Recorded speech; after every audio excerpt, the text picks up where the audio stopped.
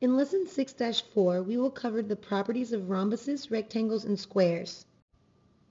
Take a minute to read the learning goal and scale. Find where you are on the scale before we begin the lesson.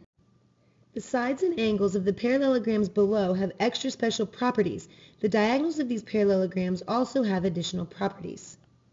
A rhombus is a parallelogram with four congruent sides. A rectangle is a parallelogram with four right angles.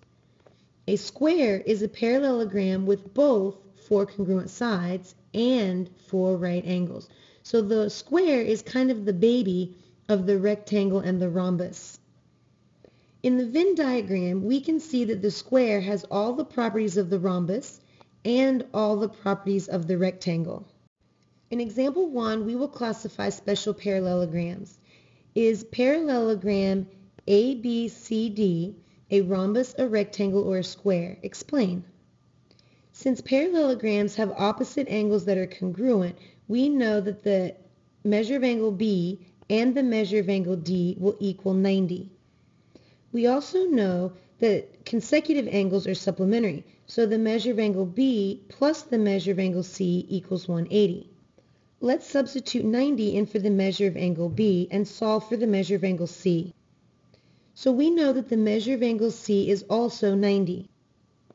Since opposite angles are congruent and the measure of angle C is 90, the measure of angle A is also 90. Since all four angles have a measure of 90 degrees, we know that all four of these angles are right angles, so parallelogram ABCD is a rectangle. Pause the video and do try number one. We know that parallelograms have opposite sides that are congruent.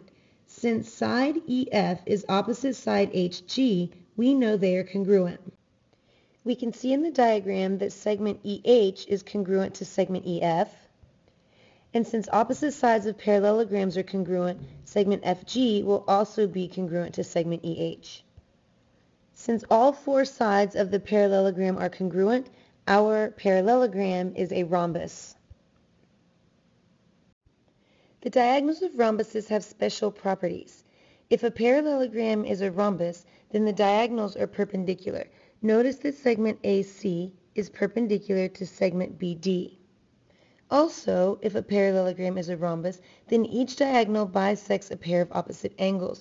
So notice that segment AC makes angle 1 and angle 2 that are congruent to angle 5 and angle 6. Segment BD bisects the angles so that angle 3 and angle 4 are congruent to angle 7 and angle 8.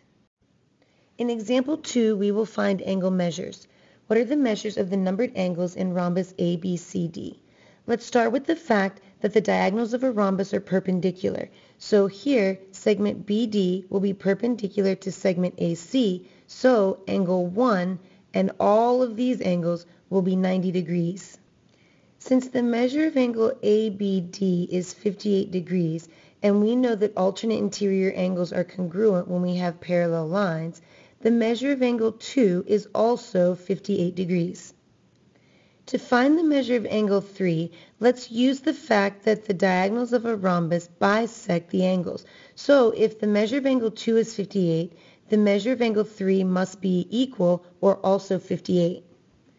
To find the measure of angle 4, notice we have a triangle here, and we know that this angle is 90 degrees, this angle is 58 degrees, so we can use the triangle angle sum theorem to find the measure of angle 4.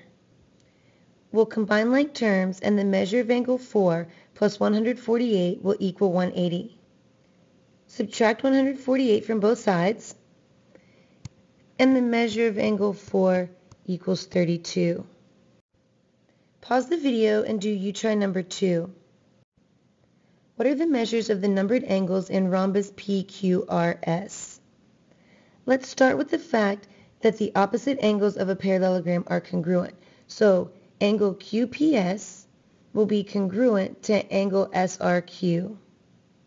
Since the diagonals of a rhombus bisect opposite angles, the measure of angle 1 is equal to the measure of angle 2 and the measure of angle 3 and the measure of angle 4. We can use triangle QPR since we know it is an isosceles triangle because all four sides of a rhombus are congruent. Using x for the value of angle 3's measure and angle 1's measure, we can write the equation 104 plus 2x equals 180. Subtract 104 from both sides, and 2x equals 76. Divide both sides by 2, and x equals 38.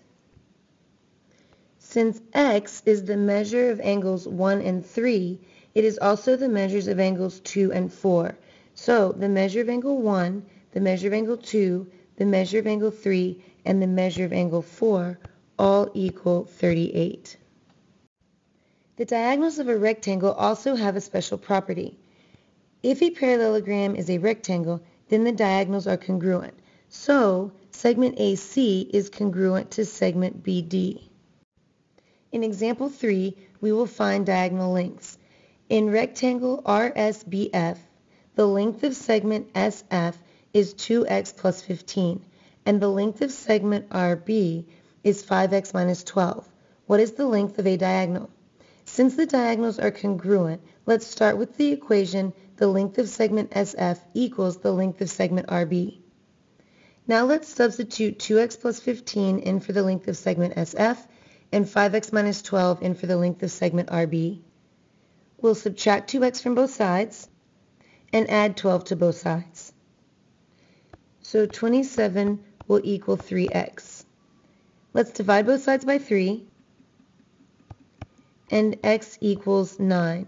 Now to find the length of each diagonal, we want to substitute 9 in for x in either diagonal's lengths. 2 times 9 is 18, and 18 plus 15 equals 33. So the length of each diagonal is 33. Remember it's a good idea to substitute 9 in for x for the length of segment RB as well, just to check to make sure we didn't make a math error. Pause the video and do you try number 3. For part A, if the length of segment LN is 4x minus 7 and the length of segment MO is 2x plus 13, what are the lengths of the diagonals of rectangle LMNO?